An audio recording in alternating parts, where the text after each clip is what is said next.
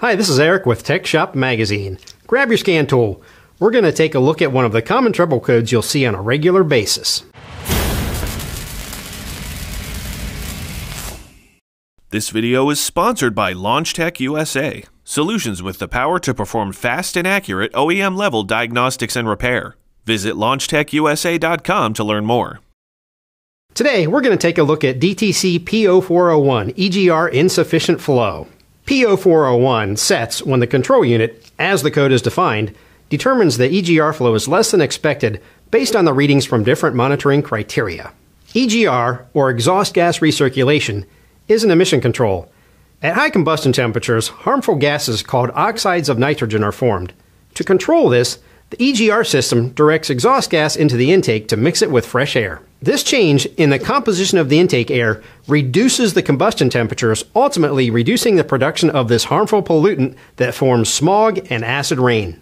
Multiple different methods are used to monitor EGR operation depending on manufacturer, including EGR temperature, intake manifold pressure, front O2 sensor signal, EGR position sensor reading, spark knock, and exhaust back pressure. In many cases, your customer won't notice any drivability or other symptoms other than MIL illumination. EGR sensor readings can be viewed with the scan tool, and in most cases, EGR operation can be commanded to begin your diagnosis.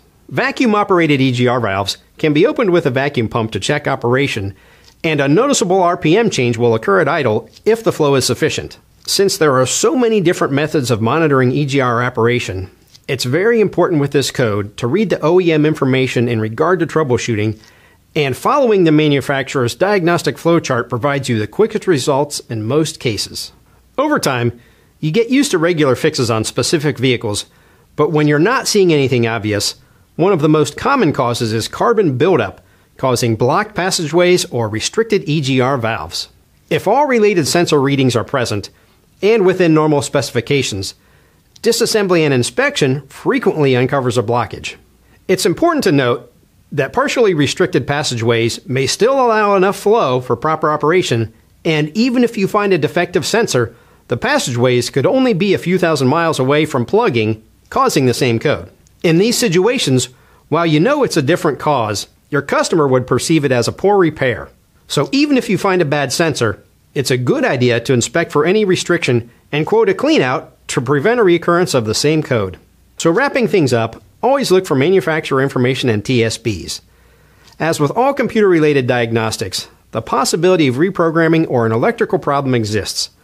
Manufacturer information can save you a lot of time and a lot of trouble. Thanks for watching, and we'll see you next time.